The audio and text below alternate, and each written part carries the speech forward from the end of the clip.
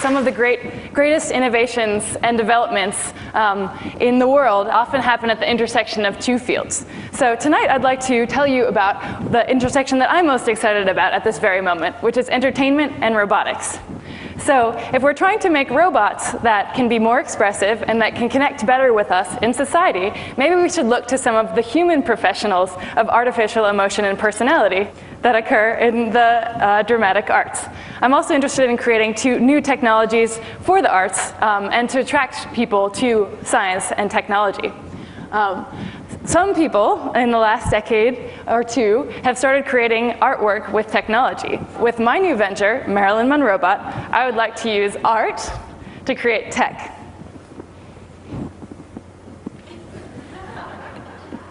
So we're based in New York City, and if you're a performer that wants to collaborate with an adorable robot, or if you have a robot that needs entertainment representation, please contact me, the bot agent, the bot, our rising celebrity, also has his own Twitter account, um, Robot in the Wild.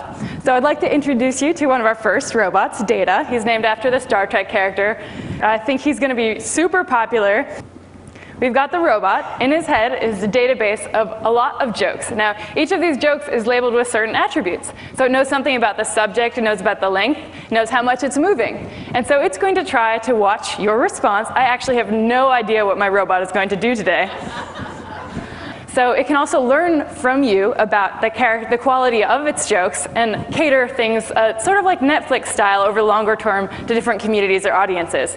Uh, children versus adults, different cultures. You can learn something from the robot about kind of the community that you're in. And also I can use each and one of you as the acting coach to our future robot companions.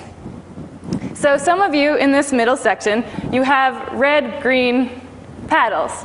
If you like what's going on, you should do the green. If you don't like the subject or, or the performance, you can hold the red. Now, don't be shy. Um, it's just a robot. It doesn't have feelings yet.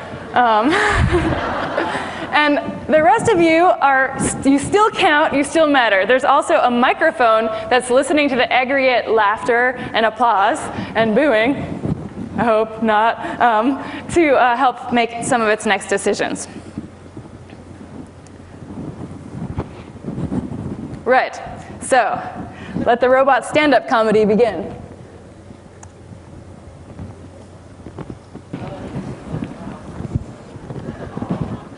Hello, TEDWomen. It's an honor to be here.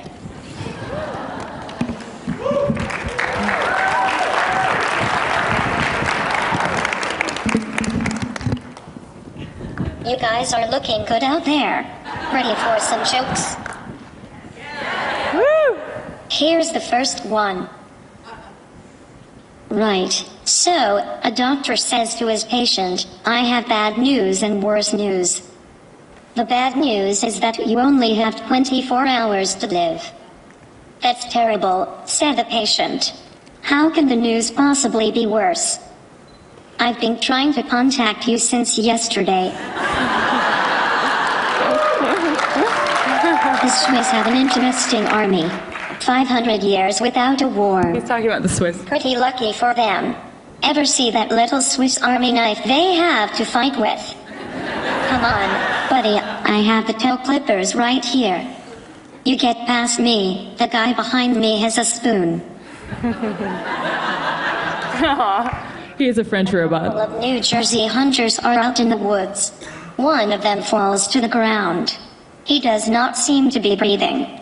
The other guy whips out his cell phone and calls 911. He gasps to the operator, My friend is dead. What can I do? The operator says, Just take it easy. I can help. First, let's make sure he's dead. There is a silence, then the operator hears a shot. The guy's voice comes back on the line. Okay. Now what? Question. Why is television called a medium? Anyone? Because it's neither rare nor well done. But to be completely honest with you, I kind of love television. Any of you like television? I find it incredibly educational, actually. As soon as someone turns it on, I go into the other room and read.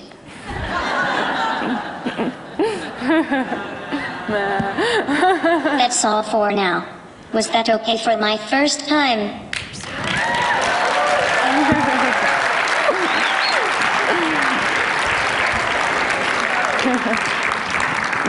You've been a great audience. Thank you. Yay. so this is actually the first time we've ever done live audience feedback to a performance. So thank you all for being a part of it. There's a lot more to come. and we hope to learn a lot about robot expression. Thank you very much.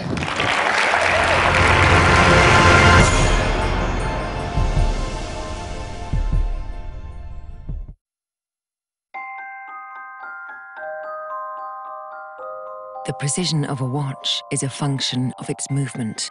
For Rolex and for Hans Wilsdorf, to guarantee the precision of a timepiece, the pressing question was how to protect the movement itself from the elements, not only water, but also tiny particles of dust. In 1926, a major step was taken with the creation of the world's first waterproof and dustproof wristwatch. The Rolex Oyster was born. Over the years, subtle changes in the design continue to improve the Oyster, adding more comfort while keeping the style contemporary. And, along with style, more functions have been added. A Rolex wristwatch was the first to show the date through a small aperture on the face. It was also the first wristwatch to spell out the day of the week in full. In the early 1950s, Rolex developed professional watches whose functions went far beyond telling the time.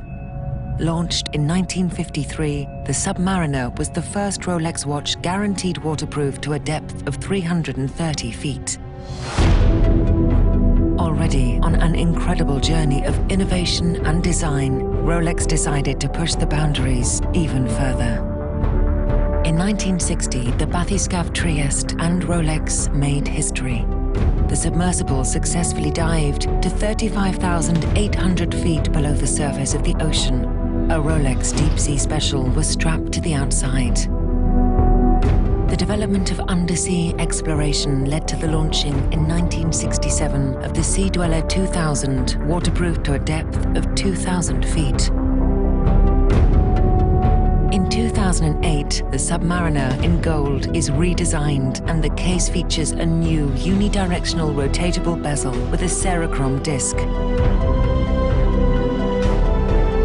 Fitted with the patented Rolex ringlock system, the Rolex Deep Sea safely descends to 12,800 feet.